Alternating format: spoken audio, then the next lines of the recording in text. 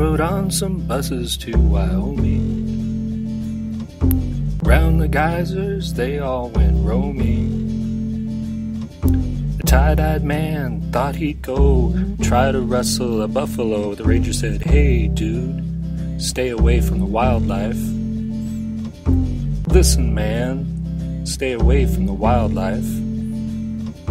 Some took photos, some went hiking. Others found the gift shop more to their liking. But everyone could all agree that geothermal activity was a great way to spend a day walking outside. It was totally worth the three hour bus ride. And the finger goes woo woo woo, woo woo, woo woo woo, woo woo, woo woo, woo.